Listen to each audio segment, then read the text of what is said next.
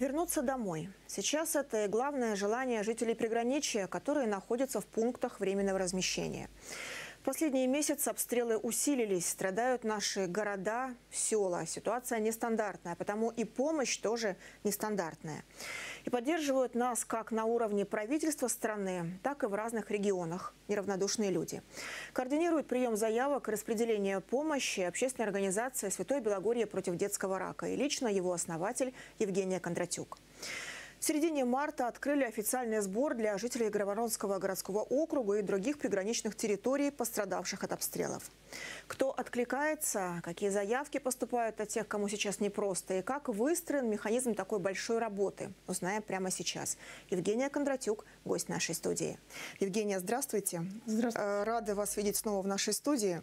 Ну вот сколько мы вас знаем, вы всегда помогаете взрослым, детям, привлекаете активистов, волонтеров, находите находите какие-то ресурсы, средства дополнительные. Вот сейчас немножко другая ситуация, наверное, и в вашей работе. Вы взаимодействуете с людьми, которые действительно э, оказались в трудной ситуации. Многие покидали дома, не успев взять ни вещи, ничего с собой а, общаясь с ними, уже, наверное, как-то посмотрели, э, в каком они настроении сейчас находятся, что вы видите, может быть, то, что вас удивило?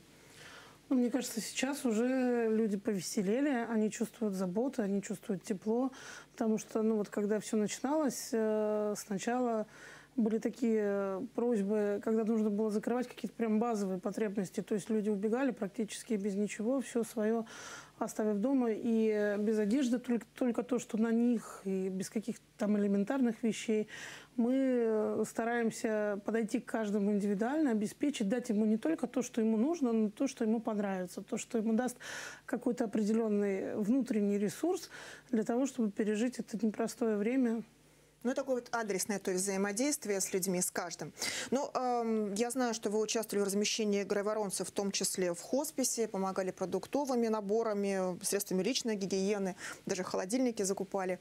С какими еще просьбами обращаются? О чем просят? Ну, бывают необычные действительно просьбы. Ну, например, вот двое мужчин обратились, попросили именно спальные мешки.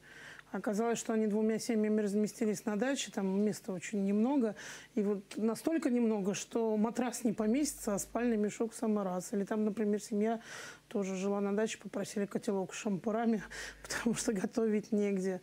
А на ПВРах, например, инвалидные коляски мы привозим. Даже вот сейчас заказали, а завтра приедут как раз две индивидуальные коляски для ну, в общем, не совсем стандартные. Мы их подобрали индивидуально под людей, заказали.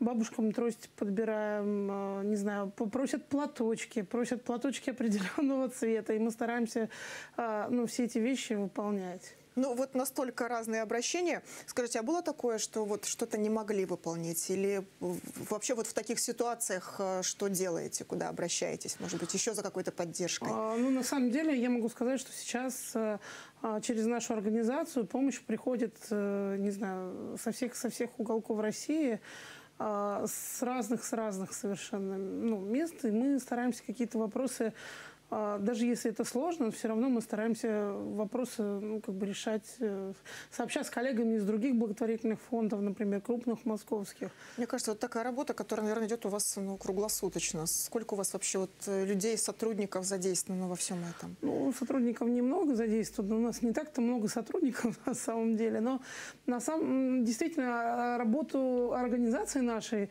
сейчас приходится перестраивать коренным образом, потому что необходимо на все а, заявки, на все просьбы о помощи реагировать мгновенно. То есть э, сейчас как раз такой период, когда вот нужно все и сразу.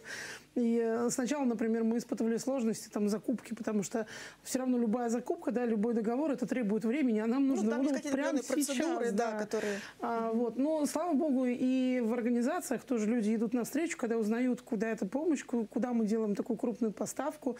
У нас даже вот одна организация а, одеяло, подушки, постельное белье ну, для тех грайвородцев, которые не на ПВРах разместились, а вот на дачах, там, друзей. Ну, угу. Нам директор лично привез эту поставку. Ну, то есть... Ну, то есть все как-то сплотились и стараются помочь в ну, решении всех да. этих вопросов. Вот например, на один из ПВР мы заказали тумбочки, ну, для того, чтобы дополнительные места для хранения у людей появились. А когда руководитель организации узнал, куда эти тумбочки, ну, в итоге сказал, что сначала сказал, что сделать большую скидку, а по итогу а вот привезли тумбочки и сказали, что денег не надо. Ну, вот ну, каждый старается какое-то маленькое доброе дело внести свой вклад вот в такую большую вашу работу.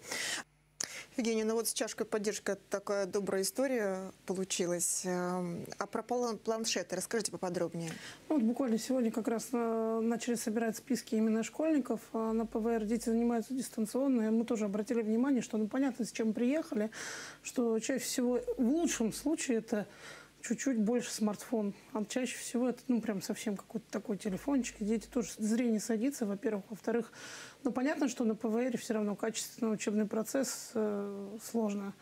И мы понимаем, что детям дальше жить, расти, строить свою жизнь, поэтому важно сейчас это все не опустить.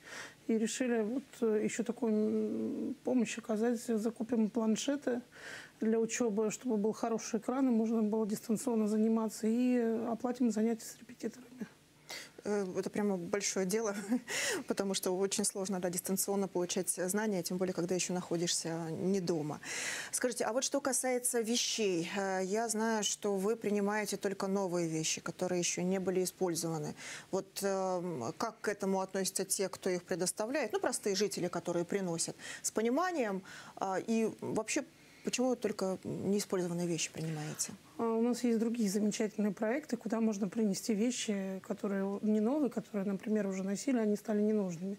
И там эта помощь будет уместна. А что касается вот пункта временного размещения, ведь наша самая главная задача не причинить добро, да, и впихнуть помощь во что бы то ни стало. Наша самая главная задача – сохранить человека в человеке.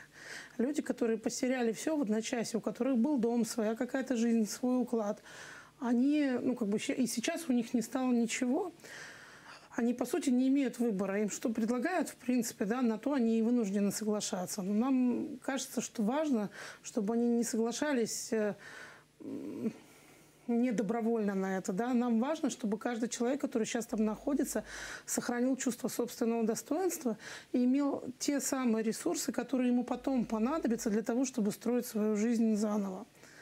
Вот, поэтому, ну, вот поэтому нам важно людям давать новые вещи, потому что они не находятся в ситуации выбора. То есть это примерно а, то же самое, когда э, вегетарианцу неделю не давать еду, а потом ему предложить кусок мяса. Ну, то есть, как бы, если он хочет, наверное, согласиться, но выбора не имеет.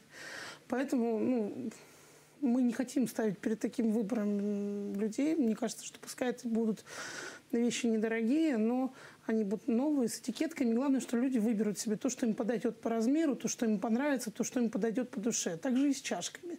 У нас же все чашки, которые мы раздаем, они разные. И каждый человек, он выбирает то, что ему понравится. То есть он выбирает свою любимую чашку.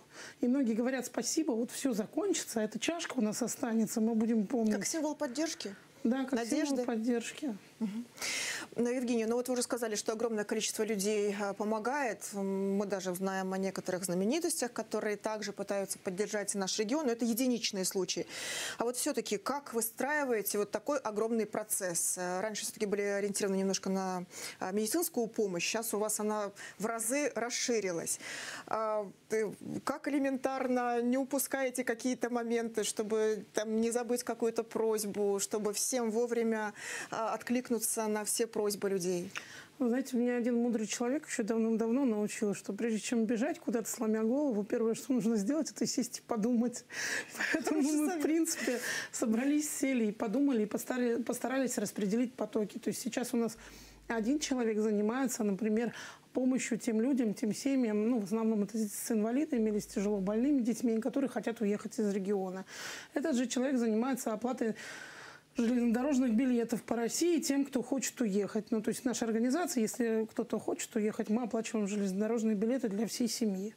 Вот. Другой человек у нас занимается прием, э, приемом заявок от э, жителей Грайворона, которые не находятся в ПВР. Еще один человек у нас занимается именно приемом заявок по ПВРам. Прям собираем, адресно записываем. Есть, ну, как бы есть люди, волонтеры, которые нас, нам помогают. Или мы же тоже, мы же сами собираем заявки. Ну, главное, не складывать все яйца в одну корзину. Ну, то есть у каждого своя зона ответственности, каждый отвечает за Ну, свой... Примерно так, да. Моя же задача организовывать этот процесс и коммуницировать с теми, кто хочет помочь. Давайте напомним как раз тем, кто хочет помочь, куда обратиться, чтобы предложить эту помощь. Ну, а тем, кому она нужна, опять же, а, как можно за ней обратиться за этой помощью? У нас очень простой телефон 36 56 02. Вот мы сейчас как никогда нуждаемся в волонтерах, нам нужны руки, мы будем очень рады любым, а, всем желающим, кто захочет прийти и вот поработать немного у нас, например, на сборе заявок. А, Мы будем благодарны за любую помощь. Но также, если человек нуждается, тоже можно позвонить по этому номеру телефона, и мы расскажем, как ее получить. 36 56 02. 02. И тем, кто может помочь, и тем, кто нуждается сейчас в помощи. 36 56 02. Евгения, спасибо большое, что были в студии. Спасибо большое за вашу работу. А, И успехов. Спасибо.